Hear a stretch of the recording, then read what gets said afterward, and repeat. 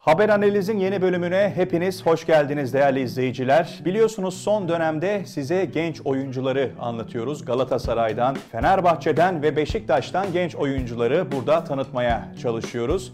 Bugün de Beşiktaş'ın genç bir oyuncusundan, Kırgız bir isimden bahsedeceğiz. Onun adı Avtan Dil değerli izleyiciler. Oldukça yetenekli. Her zaman olduğu gibi oyuncunun kim olduğuyla başlayacağız. Teknik özelliklerine, Beşiktaş'a ileriki dönemlerde neler katabilir? Bundan bahsedeceğiz. Hadi başlayalım.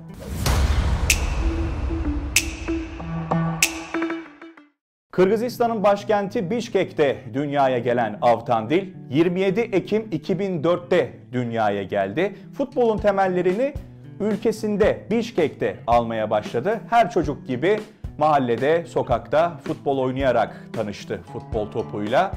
Şimdi onun aslında değişik bir keşfedilme hikayesi var. Her çocuk gibi, her futbolcunun altyapıda olduğu gibi keşfedilmedi. Onu keşfeden babaannesi değerli izleyiciler. Gerçekten alışılagelmişin dışında bir hikayesi söz konusu. Babaannesi bir gün evin balkonundan torununu izliyor ve bizim torun galiba futbol konusunda ilerleyen dönemlerde çok daha yetenekli olabilir deyip onu futbol okuluna yazdırıyorlar. Futbol okulundaki hocaları da onun bu doğal yeteneğinden etkilenip başka ülkelerde önemli takımların altyapısına gönderilmesine aracılık ediyor bazı antrenörler. Ve bir antrenör bir gün Avtan Dil'e diyor ki seni İstanbul'a götüreceğim. Tabi o dönemlerde Avtan Dil gerçekten çok önemli bir yetenek olarak Bişkek'te nam salıyor. İstanbul'a antrenörü eşliğinde gidiyor. Ama ilk durağı Beşiktaş değil, ilk durağı Galatasaray. Galatasaray'da deneme antrenmanlarına çıkıyor. Ama Galatasaray oyuncuyu beğenmiyor. Hal böyle olunca Aftan Dil için İstanbul'da olan antrenör son şansını Fenerbahçe için deniyor. Beşiktaş'a hala gelmedik gördüğünüz gibi. Fenerbahçe derazı tesislerinde Fenerbahçeli profesyoneller tarafından da beğenilmeyince Beşiktaş'a değil bu sefer Bakırköy Futbol Okulu'na yazdırılıyor Avtan Dil. Burada futbolun temellerini daha profesyonel bir şekilde öğrendikten sonra Beşiktaş'ın altyapı scoutları oyuncuyu keşfediyor. 2014 yılında Beşiktaş'ın altyapısına transfer oluyor Avtan Dil. Şimdi biraz teknik özelliklerini anlatacağız. 1.78 boyunda Avtan Dil, forvet noktasında görev alıyor. Sol kanat, sol forvet olarak da oynayabiliyor. Ters ayaklı bir kanat oyuncusu olduğunu söyleyelim. Zaman zaman sağ kanatta da görev alabiliyor.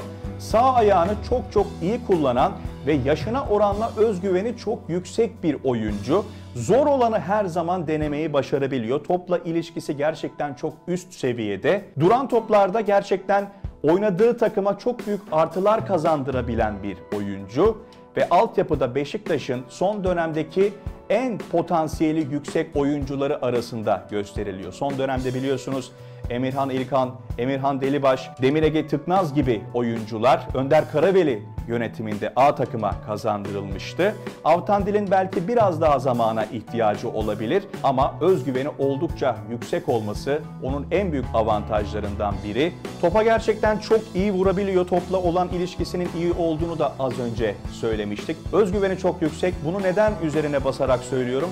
Arda Güler örneğiyle karşı karşıyayız son aylarda Türkiye'de. Gerçekten bu özgüven konusu altyapıdaki oyuncuların belki de aşması gereken bir konu ve Avtan Dil'de de böyle bir potansiyel söz konusu. Dripling yeteneği var, hızlı bir oyuncu, seri bir şekilde rakip ceza sahasında etkili olabiliyor. Elbette olumsuz yönleri de var. En olumsuz yönlerinden biri bencil olması, henüz takım oyuncusu olmaması, çok bireysel davrandığı zamanlar olabiliyor. Ama altyapıda böyle problemlerle her zaman karşılaşılabilir.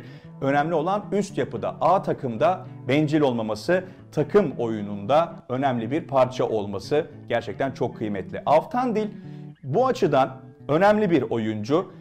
Ama şöyle bir durum da söz konusu değerli izleyiciler. Avtan Dil A takıma çıktığında yerli oyuncu statüsünde oynayamıyor. Böyle bir problem var. U15 milli takımımıza çağrılmıştı ama henüz forma şansı bulamadı.